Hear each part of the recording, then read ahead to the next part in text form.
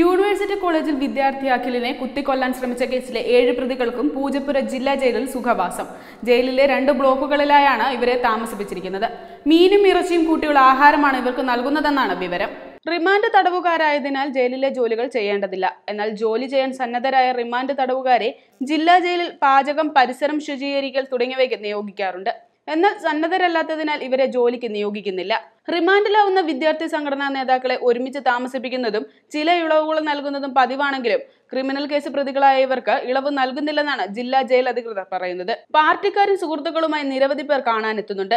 എന്നാൽ നാലാം പ്രതിയായ കൊല്ലം പത്തനാപുരം സ്വദേശി അദ്വൈത് മണികണ്ഠനെ അമ്മയും സഹോദരനും മാത്രമാണ് കാണാനെത്തിയത്.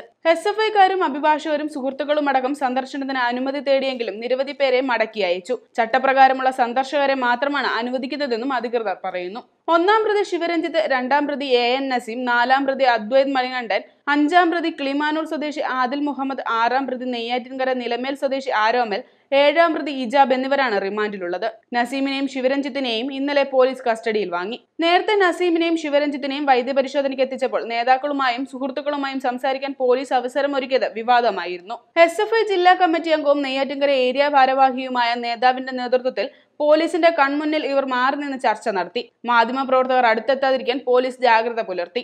അഭിഭാഷകനോട് തനിച്ച് സംസാരിക്കണമെന്ന ശിവരഞ്ജിത്തിന്റെ അപേക്ഷ കോടതി തള്ളിയിരുന്നു. മജിസ്ട്രേറ്റിന്റെ സാന്നിധ്യത്തിൽ മാത്രമേ അഭിഭാഷകരുമായി ചർച്ച നടത്താവൂ എന്നായിരുന്നു ഉത്തരവ്. എന്നാൽ കോടതി വളപ്പിൽ അഭിഭാഷകരുമായി സംസാരിക്കാൻ പ്രതികൾക്ക് പോലീസ് അവസരം ഒരുക്കി. അതേസമയം എസ് എഫ് ഐ യൂണിറ്റ് നേതൃത്വത്തിനെതിരെ വിമതസ്വരം ഉയർത്തുകയും സംഘടിപ്പിക്കുകയും ചെയ്തതിനാലാണ് അഖിലിനെ കുത്തിയതെന്നാണ് പ്രതികളായ ശിവരഞ്ജിത്തും നസീമും പറഞ്ഞത്. വിമതപക്ഷത്തെ വരുതിയിലാക്കാനുള്ള ശ്രമം സംഘർഷത്തിലെത്തുകയായിരുന്നെന്നും ഇവർ പറയുന്നു. കേസിലെ ഒന്നാം പ്രതിയും യൂണിവേഴ്സിറ്റി കോളേജിലെ എസ് എഫ് ഐ യൂണിറ്റ് മുൻ പ്രസിഡന്റുമായ ശിവരഞ്ജിത്തിനെയും രണ്ടാം പ്രതിയും യൂണിറ്റ് മുൻ സെക്രട്ടറിയുമായ നസീമിനെയും പോലീസ് കസ്റ്റഡിയിൽ വാങ്ങി ചോദ്യം ചെയ്തപ്പോഴാണ് ഇക്കാര്യം വ്യക്തമായത്. തെളിവെടുപ്പിനും ചോദ്യം ചെയ്യലിനുമായി മൂന്ന് ദിവസത്തേക്കാണ് കോടതി ഇവരെ പോലീസ് കസ്റ്റഡിയിൽ വിട്ടത്. കത്തിക്കുത്ത് നടന്ന യൂണിവേഴ്സിറ്റി കോളേജിലെത്തിച്ച് തെളിവെടുക്കും. കുത്തിയ കത്തി അടക്കം രണ്ടു കത്തികൾ സംഭവ സമയം ഇവരുടെ പക്കലുണ്ടായിരുന്നു എന്നാണ് വിവരം. Web desk Tatwamayi news.